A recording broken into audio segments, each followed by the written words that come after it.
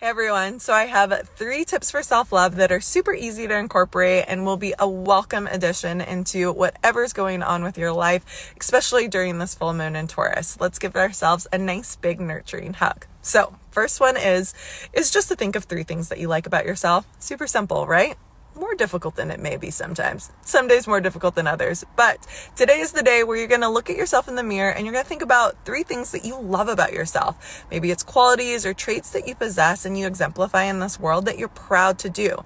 It could be that you're funny, that you're charismatic. It could be that you are honest and always hold to your word. It could be that you're creative. Whatever it is, think about it. And it could even be physical appearance too.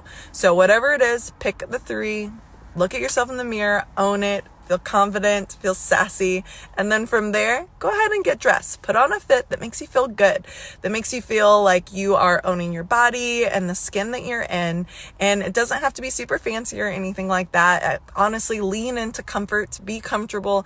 But then when you walk in, you look at yourself in the mirror, you want to give yourself a couple snaps when you walk past it. I do that actually every day.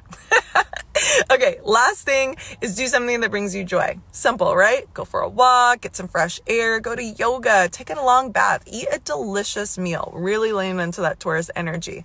Whatever you choose, savor every single moment because you know